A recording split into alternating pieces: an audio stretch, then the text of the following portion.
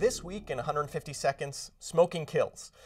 Okay, I admit the study we're discussing is not rocking the world in terms of novel science, but it brings up an interesting epidemiologic metric that I rarely get to talk about, so here we are. So, smoking kills, yes, but how much does smoking kill? In other words, if we could get everyone in the country to quit smoking, how many lives would we save? To answer that question, we're going to talk about the population attributable fraction. The PAF is a little epidemiologic metric that quantifies just how much of a certain disease can be blamed on a certain risk factor. Let me try to give you some intuition. Say we have a thousand people with cancer, and we want to know how many of these can be blamed on smoking. Well, first, we get rid of the people who never smoked, since it's pretty hard to blame their cancer on an exposure they never had. But what about the people who did smoke? Well, we can postulate that some of them had cancer caused by smoking, but some would have gotten cancer no matter what.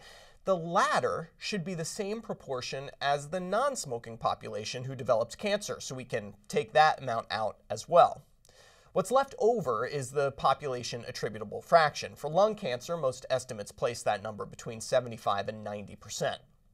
Appearing in JAMA Internal Medicine, researchers used for the first time state level data to figure out the PAF for a variety of cancers based on smoking. What they found is not surprising. Depending on the state, fully 15 to 34 percent of these cancers were attributable to smoking.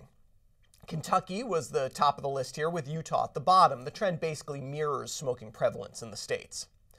Now, at the beginning, I said we were interested in figuring out how many lives we could save if we got everyone to quit smoking, but in full disclosure, I now have to point out that the PAF is really a best case scenario. Remember, all you need to calculate the PAF is data on smoking rates in people with cancer and cancer rates in non smokers all of these data are still subject to the same confounding and biases and non causality as a typical observational study, a reason I don't love the word attributable in the metric population attributable fraction.